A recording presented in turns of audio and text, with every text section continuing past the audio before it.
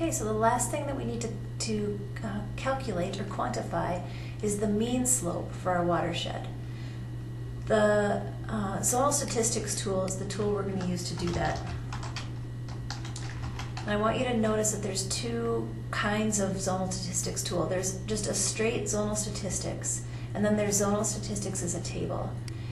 The zonal statistics tool by itself will calculate one statistic at a time and outputs um, a new raster or a new shapefile basically with that same statistic.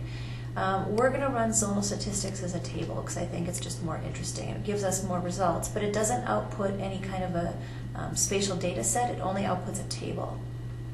So uh, one thing to know is that the zone, um, the zone data can be either raster or feature class. And what do you think our zone is that we're interested in? It's the watershed, okay? So we're going to put our watershed in here. That's the one that we want to use as our boundary to define the mean slope within. Um, the zone field is ID, that's fine. And now we need to input our value raster. This is the, the raster data set that combines the values that we want to calculate the statistic of mean for. So this is going to trip some people up. Um, if you think about these, if you put in some of these data sets that you've created that have been classified, um, you're going to end up, for example, if you ran the mean on your um, classified slope layer, this is the one that we ran the cast, cal raster calculator on and ended up with binary outputs. If we ran our um, zonal statistics table or as table on this data set, we'd come up with a mean that's somewhere between 0 and 1. And that's not what we want to do. What we want to do is come up with a mean slope in units degrees for the watershed, which we would expect to be somewhere between 0 and 90. Okay, and we're not going to get that result if we run it on values of 0 and 1. So we need to go back to our raw uh, slope raster. Now you can, I've, take it, I've taken it out of the map and re-added it, and now it doesn't come in with the classified color ramp of red to green. It's just in a, a you know regular grayscale color ramp, but it doesn't matter. We still have the correct values in here, and that's what really counts. So we're going to put our Ogden slope in units degrees in there. That's this one that has the full range of slope values.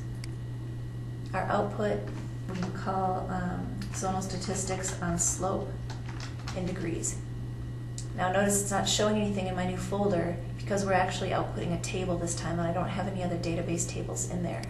It's not unlike Word or Excel. Um, you can leave these, but notice in here you could pick just a single statistic to calculate, but it doesn't really make sense if you're going to calculate it in a table. You might as well do them all. And hit OK. It adds it here. It switches our layout view to source because we're displaying a table. If we open it, here are our results. So the count should be the total number of cells. Um, we can, we can um, test that by comparing it to the area of our watershed or our area here. Here's our minimum, zero, that makes sense. Here's our maximum slope value, that makes sense. Um, our range should be the difference between the two, that makes sense, and here's our mean. This is the mean slope in units degrees. Here's the standard deviation on that mean. How about the sum? What does that mean? Um, is that a useful statistic in this in this situation? Here they're saying that for every single cell value in here in slope um, in units degrees, they've added all of those slopes up and gotten this big number. So that's kind of a stupid metric in this case. Um, there are other times when it's very useful, but not in this situation.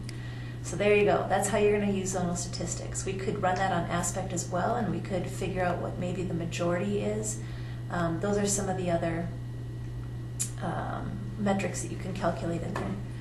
So um, if you have questions, let me know as always, and good luck.